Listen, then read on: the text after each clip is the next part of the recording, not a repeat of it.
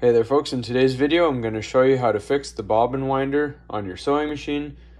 This fix will solve the issue of your bobbin winder not spinning when wind mode is active. So we're going to be doing this on a Singer sewing machine. However, most machines are fairly similar.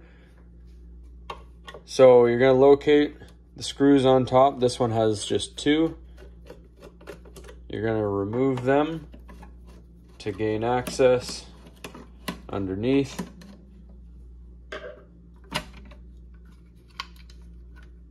Now on this particular model, when you flip it over,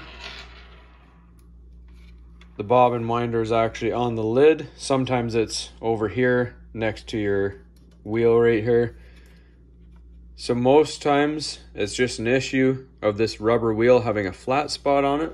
If that is the case, just take off the rubber wheel, buy yourself a new one, and put it back on.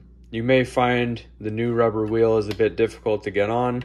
If it is, boil yourself some water in a pot and then take it off your burner and then set the new rubber ring in for a couple minutes. That'll soften your rubber, make it a little easier to get on there.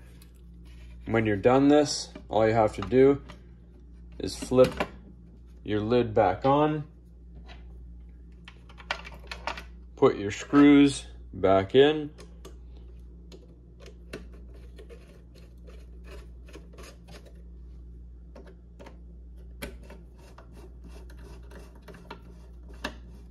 and just give it a test.